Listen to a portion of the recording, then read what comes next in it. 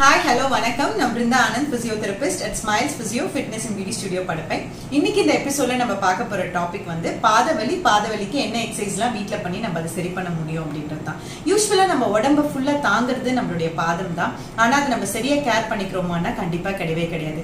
எப்போ அதுக்கு வலி வருதோ அப்போ தான் இல்லாததெல்லாம் நம்ம பண்ணிட்டு இருப்போம். யூஸ்வலாக பாதவலி வரதுக்கு பெரிய ரீசன்ஸ்லாம் தேவை கிடையாது. நீங்கள் சரியான ஷூஸ் யூஸ் பண்ணல இல்லை ரொம்ப ஹீல்ஸ் யூஸ் பண்ணுறீங்க இல்லை ரொம்ப நேரம் நிற்கிறீங்க இல்லை ஏதாவது ஸ்ப்ரெயின் ஆயிருக்கு ஸ்ட்ரெயின் ஆயிருக்கு அப்படின்ற சின்ன விஷயங்களுக்கு எல்லாத்துக்குமே உங்களுக்கு பாதவலி வரும். இந்த பாதவலியில நிறைய டைப்ஸ் இருக்கு. பிளான்டா ஃபேசைட்டிஸ்னு சொல்லுவாங்க. கால்கனியல் பருன்னு சொல்லுவாங்க. எலும்பு வளர்ந்துருக்கு குதிக்காலை அதோட ஃபேஷியா சுருங்கி இருக்குன்னு சொல்லுவாங்க. அதாவது சில பேர் வந்து தூங்கி எழுந்த உடனே எனக்கு வந்து காலை பாதத்தை தரையில வைக்க முடியல. அப்புறம் நடக்க நடக்க சரியாயிடுது மேடம் ஆனா திரும்ப அடுத்த நாள் காலைல எழுந்தாலோ இல்ல ரொம்ப நேரம் நான் உட்காந்துட்டு எழுந்தனாலோ எனக்கு திரும்பவும் எழுந்து நடக்க கஷ்டமா இருக்கு அப்படின்னு சொல்லுவாங்க. அதுக்கு முக்கிய ரீசன் நம்ம சோல் அதாவது நம்ம பாதத்துல வந்து பிளான்டா ஃபேஷியா அப்படின்னு சொல்லிட்டு ஒரு திக்கான ஃபேஷியா இருக்கு. அதுதான் நம்மள பாதத்தை ரொம்பவே பாதுகாக்கக்கூடியது. ஒன்ஸ் அது இன்ஃப்ளேம் ஆகும்போது அது அடிபடும் போது இல்லை இரிட்டேட் ஆகும்போது அந்த ஃபேஷியா வந்து சுருங்கிடும்.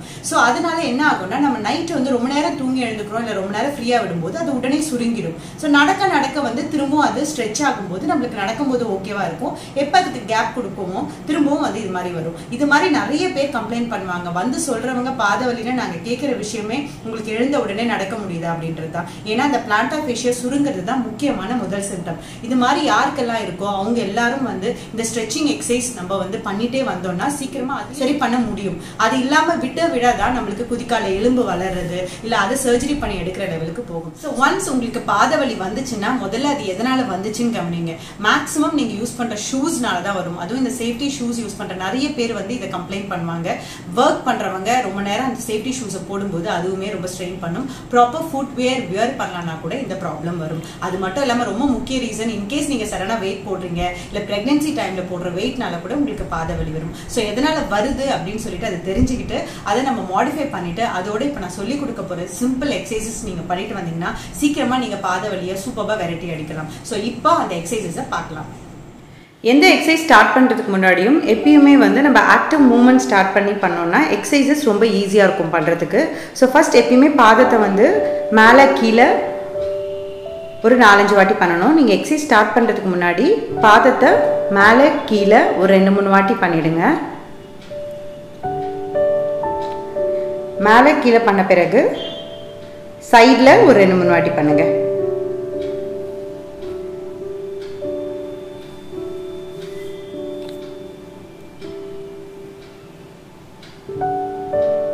சைடில் ஒரு ரெண்டு மூணு வாட்டி பண்ண பிறகு ரெண்டு காலையும் ரொட்டேஷன் பண்ணலாம்.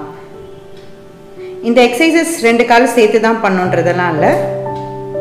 ஒரு கால் பண்ணிவிட்டு இன்னொரு கால் பண்ணுறதும் ஓகே தான். ஸோ எப்படின்னாலும் நீங்கள் ஜஸ்ட் ஒரு ஆக்டிவ் மூமெண்ட்ஸ் எல்லா ஃபுல் ரேஞ்ச் ஆஃப் மோஷனில் எவ்வளோ தூரம் முடியுமோ பண்ணிவிட்டு ஸ்ட்ரைட்டாகவே நெக்ஸ்ட் நம்ம எக்ஸசைசஸ்க்கு போகலாம். இப்போ நம்ம பண்ண போகிற எக்ஸசைஸ் வந்து காஃப் ஸ்ட்ரெச்சிங் இதுக்கு ஏதாவது டர்க்கி டவல் மாதிரி எடுத்துக்கோங்க. ஏதாவது நீட்டாக பேண்ட் இருந்துச்சுன்னா கூட ஓகே டர்க்கி டவல் மாதிரி எடுத்துகிட்டு உங்களுடைய பாதத்தோட மேலே உங்களுடைய விரல் இருக்கு இல்லையா? அதில் பாதி தான் கவர் ஆகணும். ஃபுல்லாக கவர் பண்ணிடக்கூடாது. கவர் பண்ணி அதை உங்கள் சைடு நல்லா இழுக்கணும். அதாவது மேலே நல்லா இழுத்து ஒரு டென் செகண்ட்ஸ் ஹோல்ட் பண்ணிவிட்டு இப்போது விட்டுடணும். விட்டுட்டு திரும்பவும் அந்த எக்ஸசைஸை நீங்கள் ஒரு டென் டு ஃபிஃப்டீன் டைம்ஸ் வரைக்கும் ரிப்பீட் பண்ணலாம்.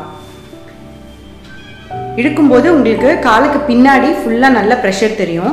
அதாவது உங்களுடைய காஃப் மசில்னு சொல்லுவோம். அந்த பேக்கில் இருக்கிற அந்த மசில் ஃபுல்லாக நல்லா இழுத்து பெயின் இருக்கிறது தெரியும் அந்த இடத்துல. அதை பற்றி வரி பண்ண வேண்டாம். ஏன்னா அந்த தான் காஃப் மசில்னு சொல்லுவோம். அதை தான் நம்ம ஸ்ட்ரெச் பண்ண போகிறோம் யூஸ்வலாக இது மாதிரி ஹீல் பெயின் வரத்துக்கு காஃப் மசில் வந்து ரொம்ப டைட்டாக இருந்துச்சுன்னா கூட அது ஹீல் போனை உங்களுக்கு புல் பண்ணி உங்களுடைய ஃபேஷியாவை ரொம்ப டைட் பண்ணிவிடும் அதனால் அதையும் நம்ம ஸ்ட்ரெச் பண்ணி விட்டுக்கிறதுனால உங்களுக்கு ரொம்ப அந்த பெயின் இருக்காது. யூஸ்வலாக இந்த டவல் போட்டு இழுக்கும்போது உங்கள் பாதத்தை வந்து ரொம்ப தூக்கிடக்கூடாது. கீழே வச்சு முடிஞ்ச அளவுக்கு நல்லா ஸ்ட்ரெச் பண்ணிங்கன்னா தான் பின்னாடி நல்லா ஸ்ட்ரெச் தெரியும். ஸோ பொறுமையாக அதை ஸ்ட்ரெச் பண்ணணும். அடுத்து நம்ம பண்ண போகிற எக்ஸசைஸ்க்கு ஒரு டென்னிஸ் பால் எடுத்துக்கோங்க. இல்லை ஸ்மைலி பால் இது மாதிரி பால் பார்த்துருப்பீங்க. இதிலே ஹார்ட் பால் கிடைக்கும். அந்த பால் எடுத்துகிட்டு உங்களுக்கு பெயின் இருக்க லெக்கை எடுத்து ஃபூட்டை கரெக்டாக அந்த டென்னிஸ் பால் மேலே வச்சு இப்போ மேலே கீழே ரொட்டேட் பண்ணி நல்லா சர்க்குலராக எல்லா மோஷன்லையும் ரொட்டேட் பண்ணி மசாஜ் பண்ண போகிறோம் இந்த எக்ஸசைஸ் பண்ணும்போது உங்களுக்கு அந்த பிளான்டா ஃபேஷியாவை லூசன் பண்ணுறதுக்கும் அது இரிட்டேஷனை குறைக்கிறதுக்கும் இந்த மசாஜ் வந்து ரொம்ப யூஸ்ஃபுல்லாக இருக்கும். அந்த ஒரு ஃபியூ மினிட்ஸ் நீங்கள் ரோல் பண்ணிவிட்டு நல்லா என்ன ப்ரெஷர் கொடுத்து இந்த டீப் மசாஜ் வந்து உங்களுக்கு ரொம்ப ரெஃப்ரெஷிங்காக இருக்கும். கேஸ் ரொம்ப ரொம்ப பெயின் சுத்தமாக பண்ணவே முடியல அப்படின்னா நீங்கள் வித்ட்ரா பண்ணிவிட்டு இதுக்கும் டாக்டரோட அட்வைஸோட எடுத்துக்கிறது நல்லது. ஸோ ரெண்டு காலையும் மாற்றி மாற்றி நீங்கள் ஒரு டென் மினிட்ஸ் வரைக்கும் இந்த எக்ஸசைஸ் பண்ணலாம். அடுத்து நம்ம பண்ண போகிற எக்ஸசைஸ்க்கு ஒரு வாட்டர் பாட்டில் எடுத்து ஓவர் நைட் ஃப்ரீஸ் பண்ணி வச்சுக்கோங்க. இதை கால் வச்சு பொறுமையாக எப்படி நம்ம பாலை உருட்டணுமோ அதே மாதிரி இதை வச்சு மசாஜ் கொடுக்க போகிறோம் எந்த அளவுக்கு நம்மளுக்கு அந்த மசாஜ் வந்து நம்மளுடைய ஃபேஷியவை லூசன் பண்ணுமோ அதே மாதிரி இது மாதிரி நம்ம ஐஸ் மூலமாக கொடுக்குற மசாஜ் வந்து உங்களுக்கு இன்ஃப்ளமேஷனை கண்ட்ரோல் பண்ண ரொம்ப ஹெல்ப்ஃபுல்லாக இருக்கும். யூஸ்வலாக அந்த பிளான்டா ஃபிஷ்ஷு ரொம்ப இரிட்டேட்டடாக இருக்கும் கண்ட்ராக்டடாக இருக்கும். ஸோ ஸோ ரெண்டு காலையிலையுமே ஒரு ஃபியூ மினிட்ஸ் ரெண்டுத்துலேயுமே எவ்வளோ நேரம் முடியுமோ அந்தளவுக்கு நீங்கள் ரெண்டுத்துலேயும் காலை வச்சு ரோல் பண்ணிவிட்டு ரிப்பீட் பண்ணிங்கன்னா ரொம்ப ரிலாக்ஸிங்காக இருக்கும். ஸோ ஃப்ரீஸ்டு பாட்டில் யூஸ் பண்ணும்போது உங்களுக்கு அந்த இன்ஃப்ளமேஷனை குறைச்சி பெயினையும் நல்லா ரெடியூஸ் பண்ணும். மார்னிங் எழுந்துக்கிறப்ப உங்களுக்கு ரிலாக்ஸ்டாக இருக்கும்.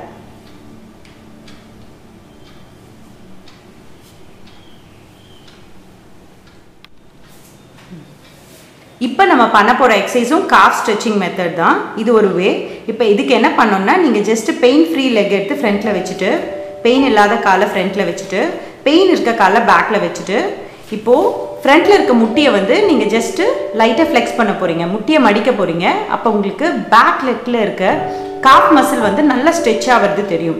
தெரியும்.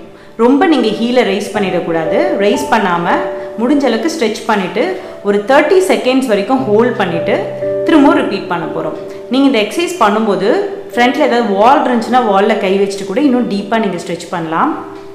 ரொம்ப பெயின் இருக்கவங்க முடிஞ்ச அளவுக்கு வாலில் கை வச்சுக்கோங்க.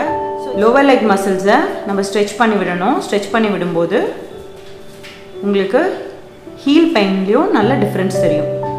மெயினாக இந்த plantar fascia and calf muscle ரெண்டுத்தையுமே நல்லா ஸ்ட்ரெச் பண்ணி விடணும்.